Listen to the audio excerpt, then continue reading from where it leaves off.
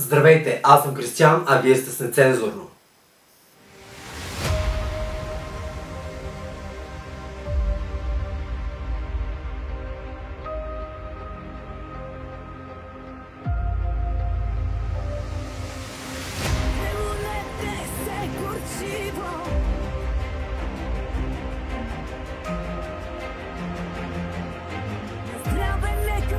Всичко живо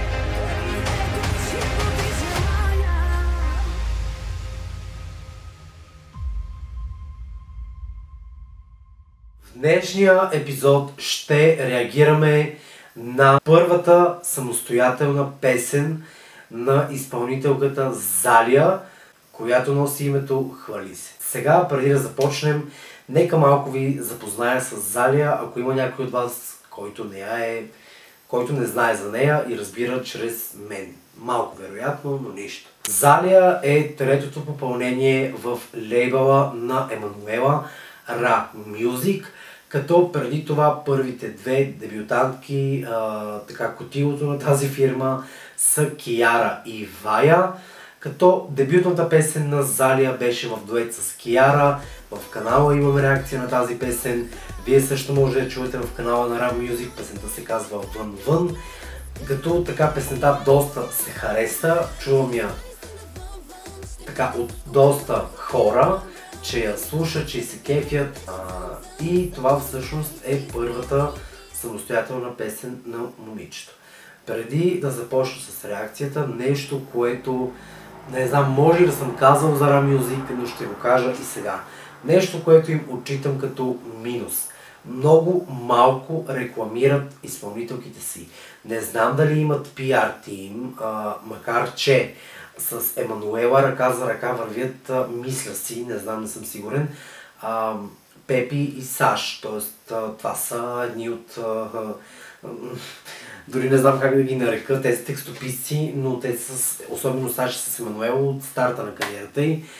И наистина това са хора с така доста адекватни виждания, които знаят какво, знаят как те работят и с Лорена от самия и старт пак. Мисля, че те могат да помогнат нали, на Емануела. Просто трябва да има повече бутане в очите на аудиторията. Защото, ето, например, момичето този ден пусна някакъв тизър и до там. Емануела го сподели и пак до там. А, а преди тизъра, мисля, че имаше стори или пост, очаквайте моята нова песен. Трябва бутане на този изпълнител, на този продукт. Трябва бутане. Реклама.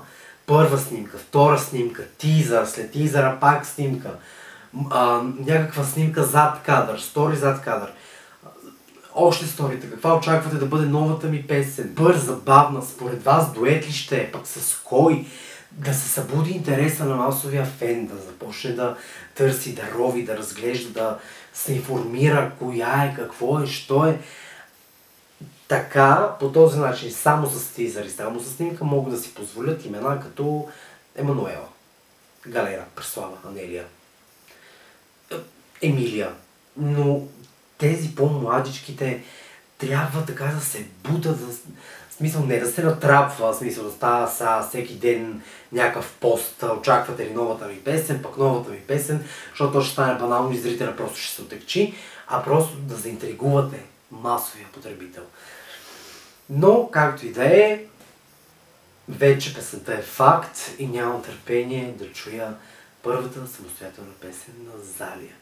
Така че затваряме устите, отваряме ушите и очите и нека сега видим и чуем Хвали се и Залия.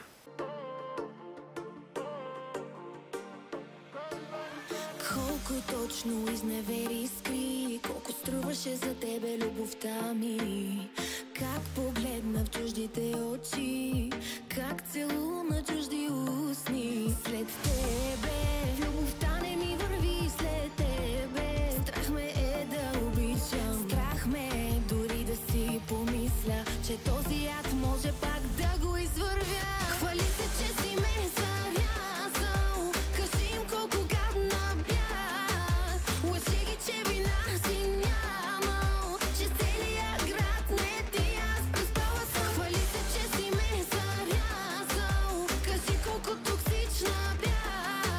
знаех, че е на Деян, защото го видях някъде тагнат.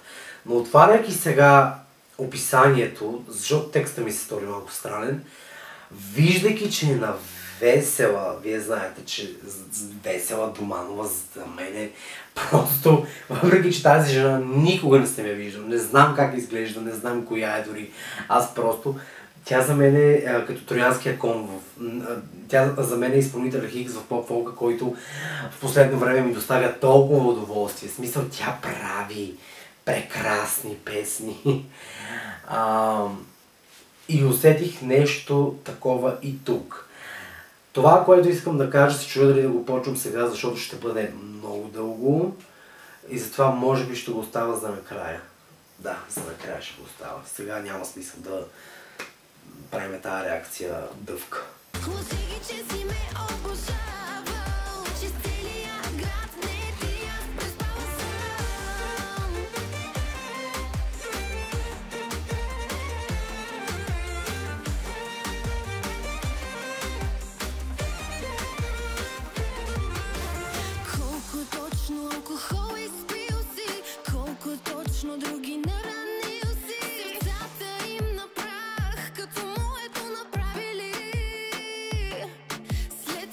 това е най-доброто нещо от към продукт, от към име, от към визия, от към песен, от към видеоклип, което за сега са представили Ram Music.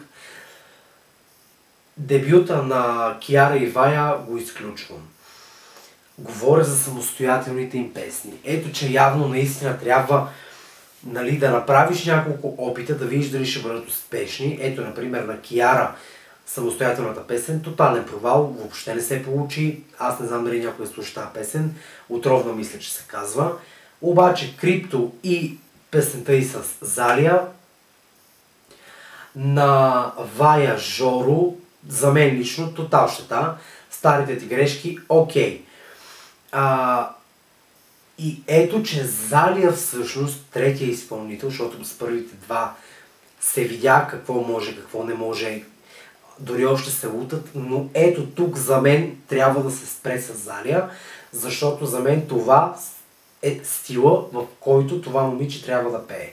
Това за мен е естетиката, която тя трябва да има, стила, който трябва да притежава а, и това е музиката, която тя трябва да прави. За мен Залия трябва да работи само с Деян или с Весела, не знам, но определено а, въпреки че те първо предстои да чуем още много неща от нея, но нали, и тя дори още може да, да си мисли, че не се е намерила, но за мен това са нещата, които трябва да изпълнява тя.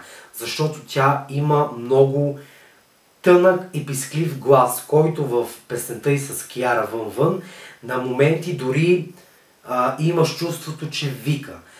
Четох коментари, че не може да пее. За мен лично, да, нямам музикално образование, сигурно нямам и музикален слух, но за мен момичето, особено в тази песен, се справя доста добре. Да не говорим, че знам кой е нейният педагог, защото съм виждал негови историта. А, аз съм чувал доста изпълнителки, които са отивали при него тотал и са си тръгвали доста добре.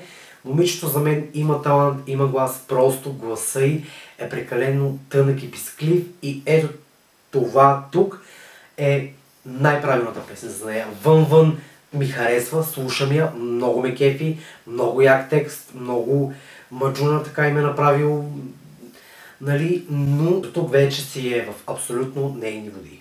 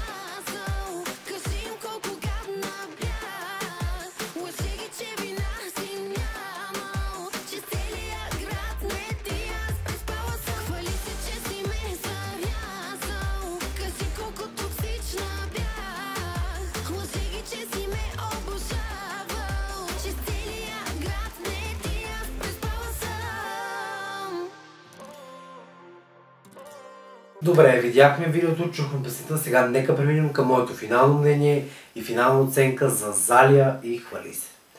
Знаете, че абсолютно винаги на дебютите давам десетка, затова тук няма да е по-различно.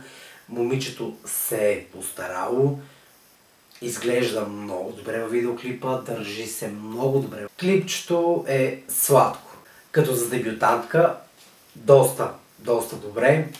За мен момичето има потенциал. Да, наистина границата между това да пее и да пищи е тънка, но това идва от а, гласа, който има.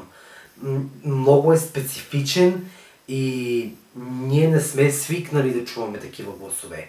А, при нас, на Балканите, особено в Гърция, в Сърбия, гласовете са толкова тегави и тежки, женските говоря, особено на сръбкините. Аз, примерно, като по-малък си мислех за някои певици от Сърбия, че са трансджендър.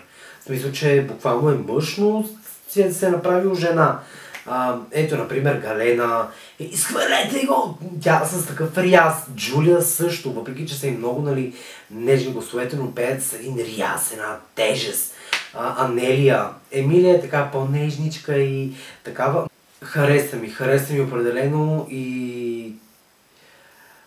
Абе... Ще си ги наблюдавам и трите, и Киара, и Вая, и Залия. Сега, доколкото знам, Киара наскоро засне ново видео, ще видим там какво ще се случи, защото ви казах, първата песен не беше попадение.